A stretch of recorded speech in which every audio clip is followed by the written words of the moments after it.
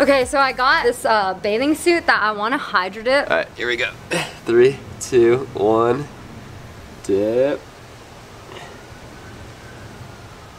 Let's see if it works. Ta-da!